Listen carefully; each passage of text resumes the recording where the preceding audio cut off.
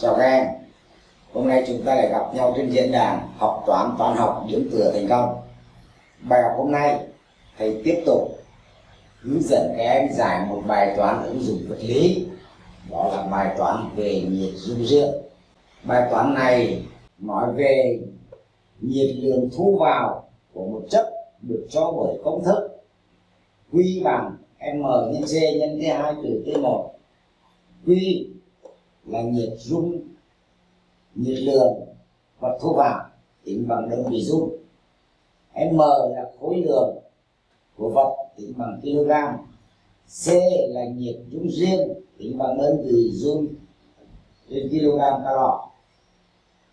Nhiệt dung riêng của một chất là nói đến cái nhiệt lượng cần thiết để đưa nhiệt độ 1 kg của chất đó lên 1 độ C.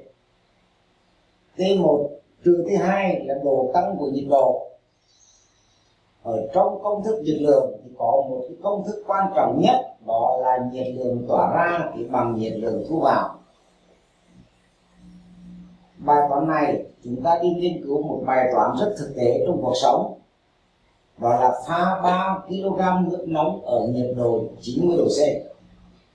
Vào 2 kg nước lạnh ở nhiệt độ 20 độ C hỏi nhiệt độ nước sau khi pha là bao nhiêu độ? Các em nhớ rằng là trong cuộc sống hàng ngày để làm cho lúa nảy mầm thì người ta thường thường pha hai, ba sôi hai lần để làm cho nước ấm lên, để ngấm giống lúa, để lúa nảy mầm. Đấy, thì bài toán này cũng có ý nghĩa như vậy. Bây giờ thầy vào phân tích bài toán.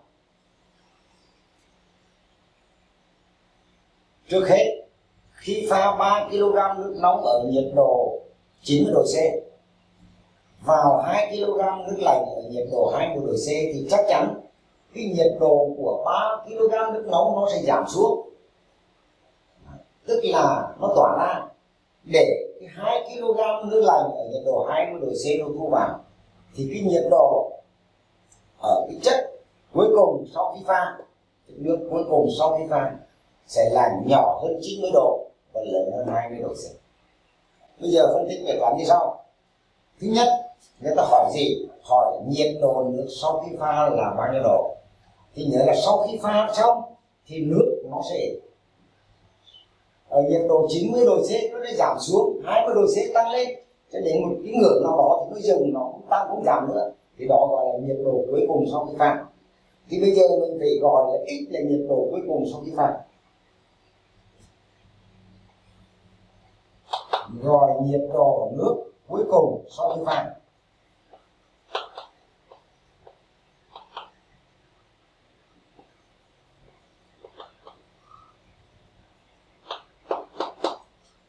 là x độ C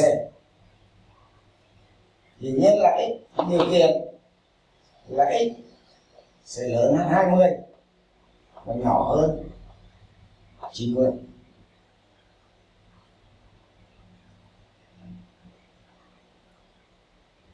bây giờ ta tính cái nhiệt lượng của 3 kg nước nó tỏa ra.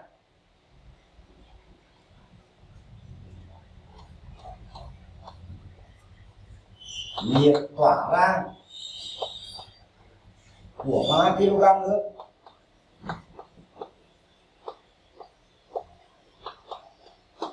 Chúng ta dùng công thức khối lượng là 3 kg C là nhiệt trung dương của nước. Nó giảm từ T2 là 90 còn T1 là x. Vậy ta có nhiệt lượng tỏa ra quy tỏa ra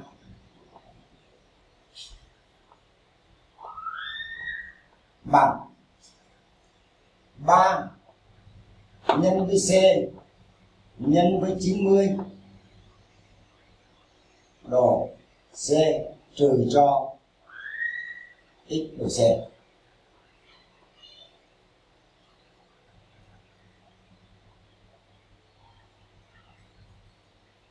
Chúng ta không biết cái gì nữa. Nhiên lượng của 2 kg nước thu vào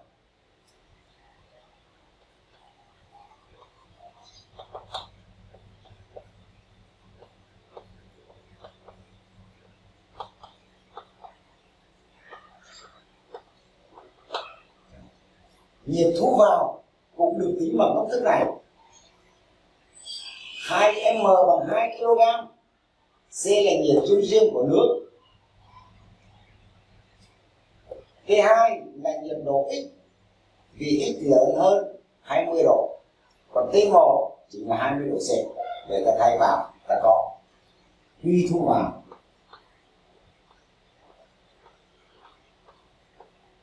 Sẽ bằng. 2 nhân C nhân với x trừ 20 ta không đi không ghi đơn vị cả, không ghi đơn vị. Đơn vị của quy là dung cuối cùng dựa vào công thức, nhiệt lượng tỏa ra thì bằng nhiệt lượng thu vào.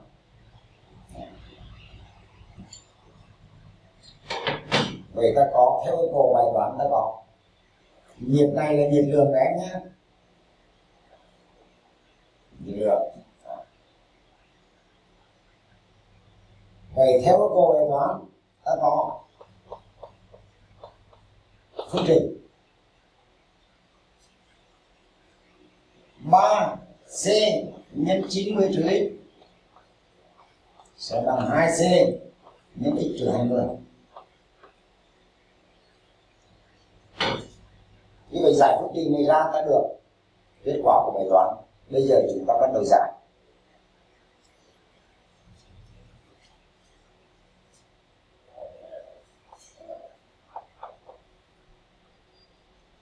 Rồi nhiệt độ nước cuối cùng sau khi pha, là hết.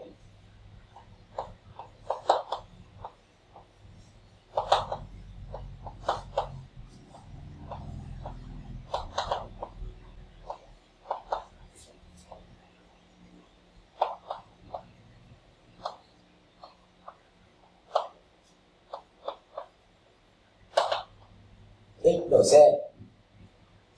Điều kiện lớn hơn 20 nhỏ hơn 90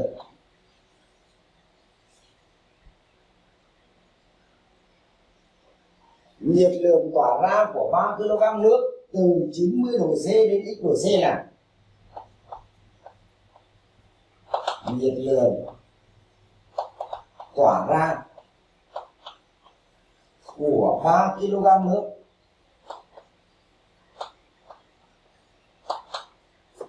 từ 90 độ C xuống x độ C. Là quy tỏa ra. Sẽ bằng 3 nhân C nhân với 90 trừ x, tính đơn vị dung.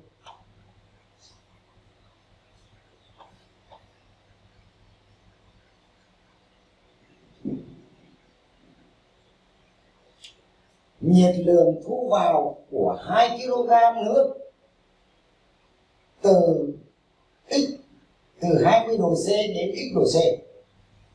Sẽ là nhiệt lượng thu vào.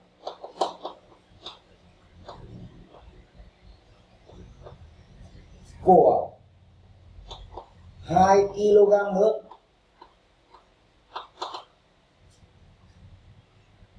Tăng từ 20 độ C lên x độ C. Sẽ là quy thu vào.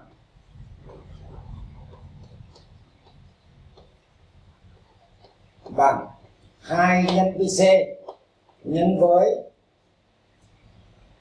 x trừ 20 cũng tính bằng đơn vị dương. cuối cùng, chúng ta có nhiệt lượng tỏa ra bằng nhiệt lượng thu vào hay nói cách khác, ta có phương trình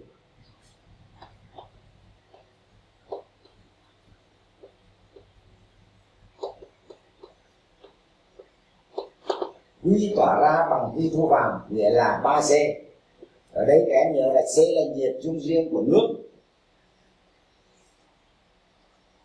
3C nhân 90 trừ x sẽ bằng 2C nhân với x trừ 20 hai vế đều có c, chúng ta bỏ. Chúng ta được 3 nhân 90 trừ x bằng 2 nhân x trừ 20 nhân vào ta được 270 trừ 3x bằng 2x trừ 40 chuyển sang bên trái và bên phải thì ta được 5x bằng 310 vậy ta được x 310 chia 5 x bằng 62 62 chính là 62 đơn vị độ C.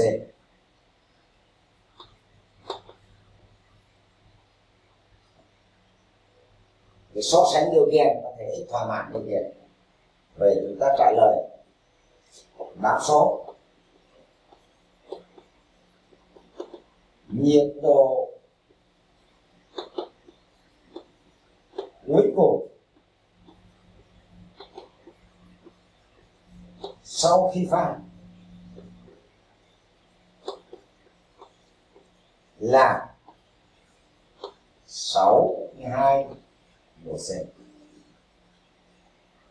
Qua bài toán này, thì thầy cũng nhắc lại các em những bài toán vật lý có thể học ở lớp 8 vẫn được nhắc lại trong những cái kỳ thi chuyển cấp thì mong các em về nhà ôn tập tốt để làm bài thi thật tốt. Cuối cùng chào tạm biệt các em